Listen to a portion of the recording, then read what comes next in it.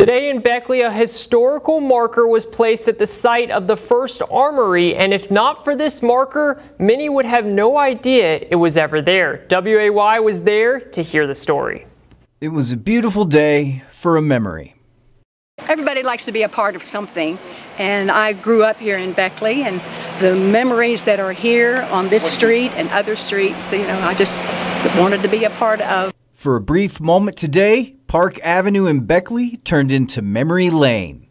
The Raleigh County Historical Society, with the partnership of the City of Beckley, installed another marker in a series of markers which highlight historically significant sites. Uh, what you're looking at, this one that we're talking about today, uh, has to do with the old Raleigh County Armory that used to sit on my uh, on my left here, and the top one is for Jon McBride, who was from Beckley, graduated in the class of 1960. Prior to 1967, Woodrow Wilson High School was located at the site of what is now Park Middle School. Jon McBride, most known for becoming an astronaut, graduated in 1960 from Woodrow Wilson.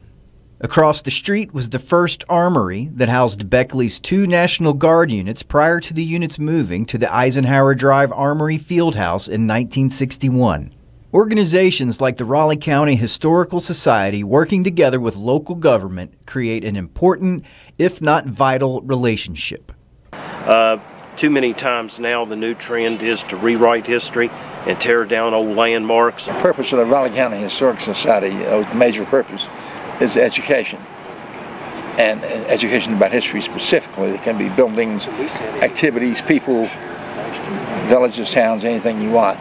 Uh, and a marker is a, a, relatively cheap way of putting up permanent information uh, that, that will be useful in educating people.